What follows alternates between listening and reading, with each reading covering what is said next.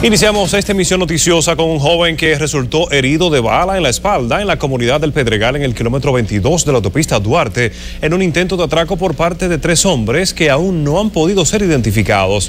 Debido a las heridas, la víctima recibe atenciones médicas en el hospital Vinicio Calventi.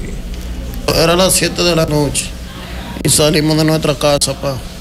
Con sitio que le dicen el Pedregal. Cuando íbamos por la baja del aguacate ahí, nos aparecieron tres tigres uno en un Suzuki y otro y dos en un CG. Y nos mandaron a parar y sacaron tres pistolas, cada uno una. También la Policía Nacional reportó que una mujer resultó muerta y dos hombres heridos la madrugada del domingo tras ser atacados a tiros por dos desconocidos desde una motocicleta mientras compartían frente a un billar ubicado en el barrio 24 de abril en Los Alcarrizos.